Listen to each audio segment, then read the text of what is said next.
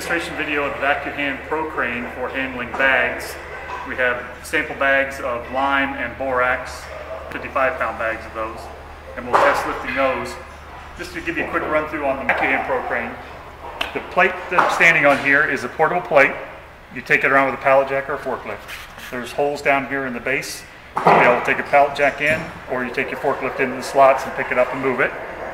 Um, you have a height adjustable tower, so you can fit into whatever area you need to fit into. You're going to become to you fully lowered, and you can raise it up to whatever height need be, and there will be a red line to indicate the upper level of the uh, of the tower. It has a motor starter fuse disconnect panel on it, so you have your disconnect. have a green start, red stop button.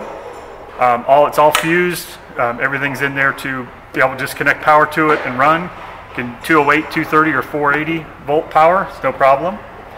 Um, we have the vacuum pump for this video just sitting on the floor right now. Normally there's a vacuum pump platform that mounts at the back of the tower right here. Uh, we don't have that in the position at this moment. This is for the demonstration video, but the pump would be sitting up on this uh, base um, on the back of the tower. Up at the arms, you have uh, two arms. Uh, for a 10 foot arm, you have 5 foot arm, 5 foot arm, that's what this one is, 5 foot inner, 5 foot outer arm. Uh, you have a lock to hold the arms back together.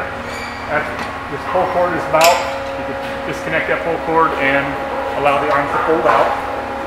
We have 2 inch vacuum supply hose that runs up along the arms and over to the vacuum lift tube. This is the vacuum lift tube here. This is the VacuHand. This is a hollow lift tube. This is what is generated by contracting, by closing vacuum off on the control head. It causes to contract and generate the lift. The control head I have here, you have two neutral positions. You have two knobs located on the handle. This one adjusts the height um, when you don't have a load on it, and this adjusts the height once you have a load. Now we'll show you that when we pick up.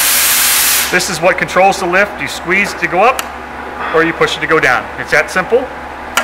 You have a bag suction foot with a flexible foam gasket and also a bag stopper down inside the suction foot to keep the bag from sucking all the way up inside the suction foot. Um, we'll do a quick run through of the four bags. We'll lift all four of them and pick them from the pallet and place them over on a little table here. Now we have this operational. This is the knob. You turn it to right to raise it and to the left to lower it and it will always come back to this position. It's in neutral position when you have no load on it. Once you pick up a load, you're going to adjust this knob to raise or lower it, and again, it'll come back to that position. It's not 100% when you're handling a bag, because every bag has got different porosity to it, so it may not come exactly, but it will give you a good position to look at there.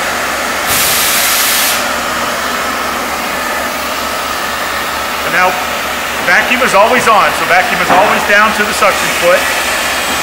All you're going to do is push the down button, or down lever, down to the bag. You kind of want to pop it down to it. You let go of the trigger, and you can see it start to suck to the bag. At that point, you can squeeze the trigger and go up. You can adjust the balance position by turning the knob. Now I don't have my hand on the control handle. It's just floating.